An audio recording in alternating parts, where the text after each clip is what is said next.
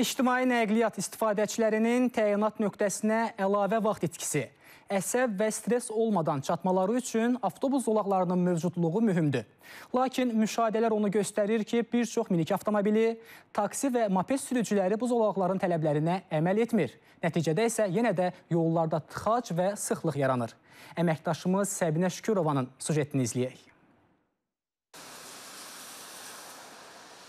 Bakı-Sumqayıt yolundayıq, avtobus zolağının yaxınlığında dayanmışıq və burada sərnişin avtobusundan başqa hər cür nəqliyyat vasitəsini görmək mümkündür. Əslində Bakı-Sumqayıt yolunun tıxaclı olmasına hər birimiz öyrəşmişik, amma avtobus zolağının ondan da betər vəziyyətdə olması təəssüf hissi doğurur. Əsasən manatlıq taksilər yaradır problemləri. Amma onları da başa düşmək olar. Əsasən gecikmələr çox olur. E, taksilər yox, adətən şəxsi maşınlar da girir. Çox vaxtı girirlər. Çaspik vaxtları 20 yanvara ümumiyyətcə girmək olmur. Problem odur ki, elə əsas o Ni- Nizam metrosundan üzü bəri gələndə orada avtobus zolağı var da qoyulubdur. Orada mümkündür oradan getmək. O lekov maşını hamısı orada saxlayır. Biz də məcbur ikinci zolağa çıxırıq, onda da problemlər yaranır. zolağa daxil olurlar. Əslində o zolağa daxil olmalı deyillər. Onun tərəfdarıyam ki, o zolağa daxil olan cəriməsi 40 manatdır, səhv eləmirəmsə. O zolağın cəriməsini qaldırsınlar. Bildiniz necə?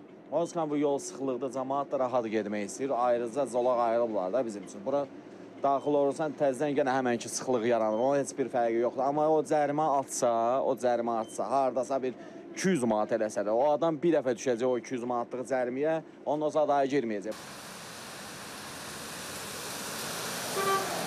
Baş Dövlət Yol Polisi İdarəsindən isə deyilir ki, avtobusdan başqa digər nəqliyyat vasitələrinin zolağa daxil olması yol verilməzdir.